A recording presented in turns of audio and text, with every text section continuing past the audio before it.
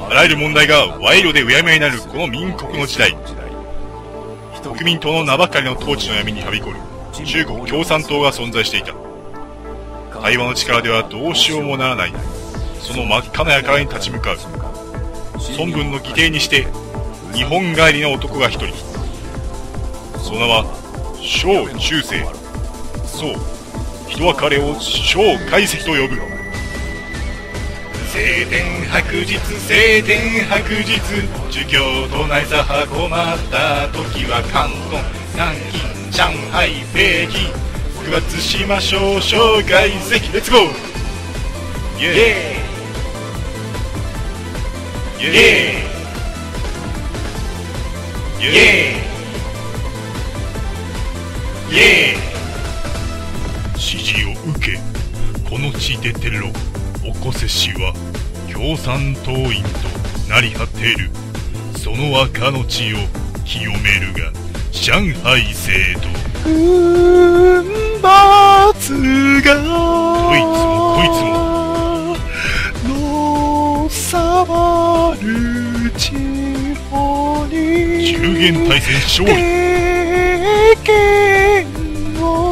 日本は空気読め。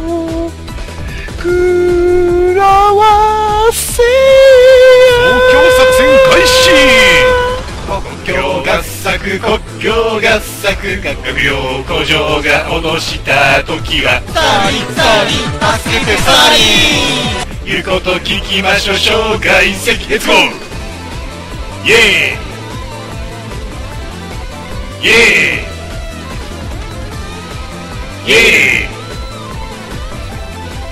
ーイ。エーイ。助けるわソ連英米集めしは兵器弾薬秘密裏にその物資を運ぶのは炎章の道。アメリカに。重慶に逃げるぞ。もらいしぶし。お待ちは許さない。闇にへと。スチーベルは首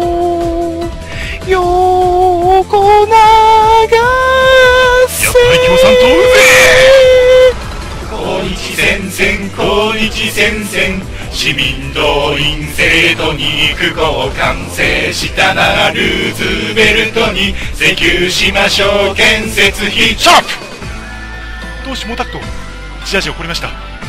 何起こったのだね。落ち着いて話してみたまえ。どうしよ来はそれが敵軍は蒋介石が自ら前線を向いたと急報がありました。な、なんだって。それは確かか。はい間違いありません。そうか。石介石が指揮を取るということはうん。これで間違いなく勝ちましたね。イエーイ。貧しい時人はそんな時心の隙間に闇ができる。その心の闇にゴミニストは容赦なく入り込んでくるのだ。だから苦しくても批判するな。でもするな。ストライキするな。法日には使わない。大量の物資こそが反響の武器なのだから。